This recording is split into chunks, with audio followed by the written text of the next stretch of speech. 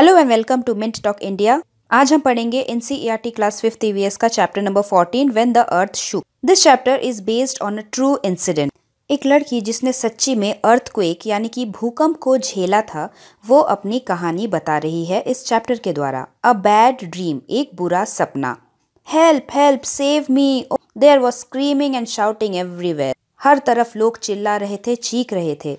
The ground was shaking and the people were running all around ज़मीन हिल रही थी और लोग हर तरफ़ इधर उधर भाग रहे थे। Screaming loudly I got up ज़ोर से चिल्लाते हुए मैं नींद से जाग गई। On hearing me my mother also woke up she came running and held me tightly मेरी चीखने की आवाज़ सुन के मेरी माँ भी जाग गई और जल्दी से आके उन्होंने मुझे लपेट लिया। It was the same bad dream वही बुरा सपना देख रही थी मैं। It has been more than six years now since the earthquake but in my sleep I still feel the earth shaking and trembling उस भूकंप के आए हुए छह साल हो चुके थे, लेकिन आज भी मैं ज़मीन का हिलना और कपकपाना महसूस कर पाती हूँ। अर्थक्वेक क्या होता है? Earthquake is a natural disaster ये एक प्राकृतिक आपदा है जो प्रकृति लेकर आती है। That is cause due to sudden shaking of that ground due to some underground disturbances earthquake तब होता है जब हमारी धरती हिलने लगती है और धरती के ऊपर के सारी चीज़ें टूट कर बिखर जाती है। जब ज़मीन के बहुत नीचे बहुत ही भयानक हलचलें होती हैं, जिसके वजह से ज़मीन हिलती है। Buildings break and fall roads cracks many people die and many property get damage I am Jasma I live in the Kutch area of Gujarat मैं जस्मा हूँ और मैं गुजरात के कच्छ एरिया में रहती हूँ। I was eleven years old when there was an earthquake और जब गुजरात के कच्छ में भूकंप आया था, तब मैं ग्यारह साल की थी। It was twenty six January two thousand and one वो छब्बीस जनवरी का दिन था, दो हज़ार एक साल में। Everyone from the village children and old people had gathered in the ground of the school to watch the parade on TV छब्बीस जनवरी के दिन हम स्कूल जाते हैं प्रोग्राम होता है और घर में वापस आके हम टीवी पे रिपब्लिक डे का प्रोग्राम देखते हैं। उसी तरह जस्मा भी अपने सभी दोस्तों के साथ स्कूल के प्लेग्राउंड में जमा हुई थी रिपब्लिक डे का प्रोग्राम देखने के लिए। Suddenly the ground was shaking और अचानक ही ज़मीन हिलने लगी। People were scared and started running here and there सभी लोग डर गए और यहाँ वहाँ दौड़ने लगे। किसी को भी पता नहीं था कि क्या हो रहा है और क्या करना चाहिए। जैसे कि मैंने कहा कि ये एक सच्ची घटना पर आधारित है। 26 जनवरी 2001 को हमारे गुजरात स्टेट के कच्छ एरिया में बहुत ही भयानक भूकंप आया था और ये फ़ोटो उसी समय की ली गई है। गुजरात कहाँ होता है? गुजरात के ही ऊपर के एरिया में है Kutch. In a few minutes our village was flat on the ground कुछ ही मिनटों के अंदर हमारा पूरा गाँव एकदम धरती में समा गया था। All our things clothes pots grains and food were trapped under the stone हमारे सारे सामान, हमारे कपड़े हमारे मटके, हमारा खाना, पीना, अनाज, सब कुछ मलबा और स्टोन्स यानी कि पत्थर के नीचे दब गया था। At that time everyone thought of two things to save the people who trapped and to treat the injured the village hospital was also damage गाँव का अस्पताल भी एकदम टूट के बिखर गया था। Many people were seriously injured बहुत सारे लोगों को बहुत ही गहरी चोटें आई थी। My leg also got fractured और मेरी भी टांग की हड्डी टूट गई थी। The doctor treated people with the help of villagers. Six people of our village died. मेरे गाँव के छह लोग इसी आपदा में मर गए थे। My grandfather was also buried under the house और जब हमारा घर टूट के गिरा था, उसी घर के मलबे में मेरे नाना जी भी दब के चल बसे थे। My mother wept all the time house of Mota Bapu who is the sarpanch of our village was not much damage हमारे गाँव के सरपंच मोटा बाबू का घर तो ज़्यादा टूटा नहीं था। He gave rice and wheat to everyone from his godown उन्होंने अपने गोदाम से हम सब के लिए अनाज की व्यवस्था की। For many days the village women cooked food together at Mota Bapu's house and fed everyone बहुत दिनों तक गाँव की सभी औरतें मोटा बापू के गोदाम से अनाज लेकर ही खाना पकाती थी और सबको खिलाती थी। Imagine being without a house in the cold winter सोचिए तो ठंडी के दिनों में बिना घर के रहना कैसा लगता होगा? भूकंप का डर और सर्दी हमें रातों रात जगाया करती थी। क्या आपने भी कभी इस तरीके की डिफ़िकल्ट सिचुएशन को फेस किया है? तो जो बच्चे असम और सिक्किम के एरिया में रहते होंगे, उन्होंने ज़रूर इस तरीके के सिचुएशन को फेस किया है, क्योंकि उस एरिया में भूकंप की घटना बहुत ही आम है। Who all helped at such a time make a list तो ऐसी आफत की घड़ी में इंसान ही इंसान की मदद करता है। Many people help at such times like our neighbours help each other people from the big cities come for help उसके बाद हमारे पॉलिटिशियंस हमारे नेता, बहुत सारे सरकारी और बेसरकारी ऑर्गेनाइजेशंस भी आते हैं लोगों की मदद करने। डॉक्टर और नर्स भी आते हैं नियर बाई हॉस्पिटल से। कई शॉपकीपर्स भी अपने दुकान का सामान मुफ़्त में देते हैं क्योंकि लोगों की मदद करना अच्छी बात होती है। So this is why we live in a society हम लोगों के साथ लोगों के बीच इसीलिए रहते हैं ताकि ज़रूरत के समय पे हम एक दूसरे की मदद कर सके। Help arrives for some days after that people from the cities kept coming to see what had happened उस दिन के बाद कई दिनों तक शहरों से बहुत सारे लोग हमारे गाँव में आ रहे थे लोगों की मदद करने को सिचुएशन को देखने के लिए। They came with food medicine and clothes और वो हमारे लिए खाना, दवाइयाँ और बहुत सारे कपड़े भी ला रहे थे। क्योंकि हमारा सब सामान तो हमारे घर के साथ टूट कर ज़मीन में बिखर चुका था। Everyone use to rush to take things people from different groups from the cities help us शहरों से आने वाले बहुत सारे लोग हमारी मदद कर रहे थे। They help us to put up the tents staying in these plastic tents in the cold Wilton once were very difficult इस तरीके के प्लास्टिक टेंट में सर्दियों की रातें गुजारना बहुत ही मुश्किल था। लेकिन एटलीस्ट हमारे सर के ऊपर कुछ तो छत थी। Some of these people were scientist they try to find out which areas have more chances of having an earth शहरों से आने वाले उन लोगों के बीच कुछ लोग साइंटिस्ट भी थे, यानी कि वैज्ञानिक। और वो ये पता लगाने की कोशिश कर रहे थे कि हमारे एरिया में ऐसी कौन कौन सी जगह है जहाँ पे भूकंप और ज़्यादा आने की संभावना है। People from our village talk to them many times they had suggestions about building our houses again और उन साइंटिस्ट लोगों के पास हमारे लिए दोबारा घर बनाने के बहुत सारे सजेशंस थे। इंजीनियर्स और आर्किटेक्ट भी आए थे हमारे लिए स्पेशल डिज़ाइन लेके। They said that with these design houses would not get damage much after an earthquake और उन इंजीनियर और आर्किटेक्ट लोगों ने हमें ये भी बोला था कि उन घरों के डिज़ाइन कुछ ऐसे होंगे जो भूकंप की वजह से ज़्यादा डैमेज नहीं होंगे। But our people were little afraid लेकिन हमें थोड़ा डर भी लग रहा था। हमने सोचा कि यहाँ पे अगर शहरों जैसे घर बन गए, बिल्डिंग बन गई तो हमारा गाँव वैसा नहीं लगेगा जैसे पहले हुआ करता था। So the villagers thought they would build their house with their help तो फिर गाँव वालों ने सोचा कि वो खुद ही अपना घर बनाएँगे, लेकिन वो साइंटिस्ट लोगों की हेल्प भी लेंगे। हम सभी ने मिलकर हमारे गाँव को दोबारा बनाना शुरू किया। कुछ लोगों तालाब के किनारे गड्ढा बना के बहुत सारा मिट्टी लेकर आए। कुछ लोगों ने उसमें गाय का गोबर मिलाया और बहुत बड़े बड़े केक्स बनाए फिर इन्हीं मिट्टी और गाय के गोबर के मिश्रण से घर की दीवारों को बनाना शुरू किया We whitewashed the walls and decorated them with beautiful designs. We put up the thatched roof. Now our house shines like a diamond in the dark night. अभी हमारा घर रात को एकदम हीरे की तरह चमकता है Now discuss.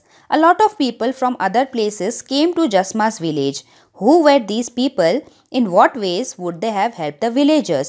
जसमा के गाँव में बहुत सारे लोग आए थे। वो लोग कौन कौन थे और उन्होंने लोगों की मदद कैसी की होगी? जसमा के विलेज में बहुत सारे लोग आए थे। जैसे कुछ लोग गवर्नमेंट की तरफ़ से आए थे, कुछ लोग साइंटिस्ट थे, कुछ लोग डॉक्टर्स थे, जिन्होंने लोगों को फ्री में दवाइयाँ दी थी। ये लोग गाँव वालों के लिए खाना, कपड़े, दवाइयाँ और वो सारे ज़रूरी सामान लाते हैं, जो गाँव के लोगों ने भूकंप की वजह से खो दिया था। People in Jasma's village rebuild their houses with suggestions from the engineers Jasma के गाँव के लोगों ने इंजीनियर्स लोगों से सजेशन लेके नया घर बनाया। Will this houses be safer than before in case there is an earthquake again क्या आपको लगता है कि ये वाले घर सुरक्षित रहेंगे अगर दोबारा एक भूकंप आया तो? हाँ ऐसे घर ज़रूर सुरक्षित होंगे। People in Jasma's village rebuild their houses with the suggestions from engineers These engineers give suggestions to build houses so that they would be least damaged in case of an earthquake. क्योंकि इस तरीके के engineers और scientist जो दिन रात भूकंप को लेके ही स्टडी करते रहते हैं, बहुत सारे रिसर्च करते हैं, उन्हें इस चीज़ की बहुत जानकारी होती है कि भूकंप हमारे धरती के नीचे की किन हलचलों की वजह से होता है और जब धरती हिलती है तो ऊपर के बिल्डिंग में किस तरीके के डैमेज हो सकते हैं? तो चलिए एक बार जान लेते हैं कि भूकंप क्यों आता है। ये है हमारा वर्ल्ड मैप आपको जानकर बहुत ही हैरानी होगी कि हमारे धरती के बहुत ही अंदर एकदम नीचे deep under the surface the earth is divided into many plates हमारी धरती बहुत सारे अलग अलग प्लेट से डिवाइडेड है जो कि हमें बाहर से दिखाई नहीं देती। इनको कहा जाता है टेक्टोनिक प्लेट्स। जैसे इस पिक्चर में आप ऑरेंज कलर की लाइंस देख रहे हैं, यही इन प्लेट्स की सतह है। जब भी ये प्लेट्स हिलती हैं या फिर आपस में टकराती हैं तो ऊपर की ज़मीन भी हिलती है। और जब ऊपर की ज़मीन हिलती है, तब भूकंप आता है। ये ऑरेंज कलर की लाइंस यानी कि इन प्लेट्स की बाउंड्री जिन जिन देशों की सतह से होकर गुजरती है, वहाँ पे भूकंप के चांसेस बहुत ही ज़्यादा है। ये है हमारा प्यारा भारत और उसी तरीके की एक टेक्टोनिक प्लेट हमारे देश के ऊपरी सतह से होकर गुजरती है। इसीलिए आसाम और सिक्किम के एरिया में तो भूकंप के झटके साल में एक दो बार तो हमेशा आते ही आते हैं। So what should we do when there is an earthquake जब भूकंप आता है तो हमें क्या करना चाहिए? हम अपने आप को कैसे बचा सकते हैं? सबसे पहला पॉइंट तो run outside of the building to an open ground हमें अपने घर से जितनी जल्दी हो सके बाहर निकल के एकदम खुले मैदान में चले जाना चाहिए। लेकिन किसी कारणवश अगर हम बिल्डिंग से बाहर नहीं निकल पाते हैं, बिल्डिंग के अंदर ही रह जाते हैं तो हमें खिड़कियों, कांच की दीवारों, दरवाजों, दीवारों बड़े बड़े फर्नीचरों इत्यादि से दूर रहना चाहिए। क्योंकि जब ज़मीन हिलेगी तो ये सब सामान भी हिलेंगे और हमारे ऊपर आके गिरेंगे। अगर हम घर के अंदर ही फंस गए हैं तो हमें किसी स्ट्रॉन्ग टेबल या फिर स्ट्रॉन्ग बेड के नीचे ही शेल्टर लेना चाहिए। क्योंकि अगर घर की छत भी टूट के गिरती है तो भी वो बेड के ऊपर गिरेगी, हमारे सर के ऊपर नहीं गिरेगी। We should take shelter under a strong table and hold the legs of the table tightly until the shaking of the ground stops ऐसी आपदा के समय में जब लोग अपना घर बार खो बैठते हैं, अपने सामानों को खो बैठते हैं, अपने परिवार वालों को खो बैठते हैं, तब उन लोगों की मदद हम कैसे कर सकते हैं? In such situations whose help would be needed and for what write in your notebook as shown here तो सबसे पहले डॉग्स हमारी मदद कैसे कर सकते हैं? They can smell out where people are lying trapped जैसे कि आपने अपने फ़र्स्ट चैप्टर में पढ़ा है dog has a super sense of smell dog सूंघ कर ही पहचान सकता है कि बिल्डिंग के किस मलबे के नीचे कहाँ पर कोई इंसान दबा पड़ा है और उसे मदद की ज़रूरत है। उसके बाद है लेबरर्स जो मदद करेंगे बिल्डिंग के मलबे को हटाकर, लोगों को निकालने में। They help to dig out the rubble and take out the trapped people and also to build new houses और इसके बाद मिलिट्री वाले भी हमारी मदद करते हैं लोगों को रेस्क्यू करने में उसके बाद डॉक्टर्स मदद करते हैं जिन लोगों को चोट लगी है दोज हु आर इंज्योर्ड उनकी ट्रीटमेंट करने के लिए, उन्हें दवाई देने के लिए। साइंटिस्ट हमारी मदद करते हैं। They help us to find out the areas where there are more chances of earthquake architects और इंजीनियर्स मदद करते हैं अर्थक्वेक प्रूफ हाउसेस डिज़ाइन करने के लिए। बहुत सारे government and non government organisations सरकार की तरफ़ से लोग आते हैं। लोगों को खाना, पानी, कपड़ा, दवाइयाँ इत्यादि देने के लिए। तो क्या आपने भी अपने घर के आसपास किन्हीं ऐसे लोगों को देखा है जो एक दूसरे की मदद करते हो? Have you ever seen people in your area helping each other people live together in a neighbourhood so that they can help each other during the time of crisis हम सबके साथ इसीलिए तो रहते हैं ताकि ज़रूरत के समय पे, आफत के समय पे हम एक दूसरे की मदद कर सके। Imagine living in a place where there would be no house और people around how it would be like For example, whom would you play with? Whom would you celebrate festivals and special days with? सोचिए तो अगर ऐसा होता कि आप ऐसी जगह पे रह रहे हो जहाँ पे आसपास कोई भी मौजूद ना हो आप एकदम अकेले हों तो ऐसी कंडीशन में आपको कैसा लगेगा it would be definitely very scary बहुत ही डरावनी सिचुएशन होगी हम किसी के भी साथ बात नहीं कर पाएँगे, खेल नहीं पाएँगे, हमारे स्पेशल त्योहार्स और स्पेशल डेज़ हम किसी के साथ नहीं मना पाएँगे।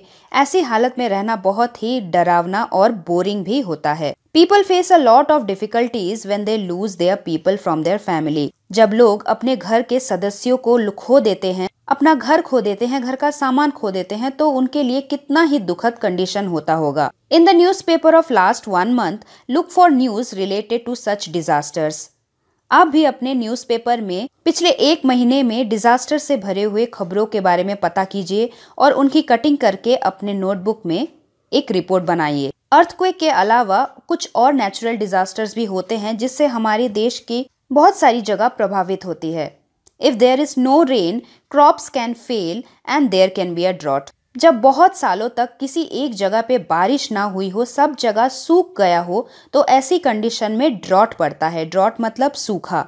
जैसे कि आप इस पिक्चर में देख रहे हैं, पूरी ज़मीन एकदम सूख गई है, एकदम सूखा पड़ गया है। But in such case also food for people can be brought from other places so that there is no famine ऐसी कंडीशन में वहाँ में रहने वाले लोगों के लिए खाना पानी किसी दूसरी जगह से मंगवाया जाता है, ताकि लोगों को भूखमरी ना हो, यानी कि लोग भूख से ना मरे। फेमाइन का मतलब अकाल होता है, जब किसी भी एक जगह पर बहुत समय तक खाने की कमी हो गई हो और लोग खाने की कमी से मरने लगते हो, ऐसी कंडीशन को अकाल कहा जाता है। In English it is said famine तो इसी के साथ हमने खत्म किया अपना एक चैप्टर और जाना। प्राकृतिक आपदाएँ यानी कि नेचुरल डिजास्टर्स के बारे में बहुत कुछ। वर्कबुक का लिंक मैंने डिस्क्रिप्शन बॉक्स में डाल दिया है you can check it out we will meet very soon with the explanation and workbook solution of our next chapter till then thank you very much and God bless you all Thanks for watching and do like, share, subscribe our channel Mint Talk India for more upcoming videos.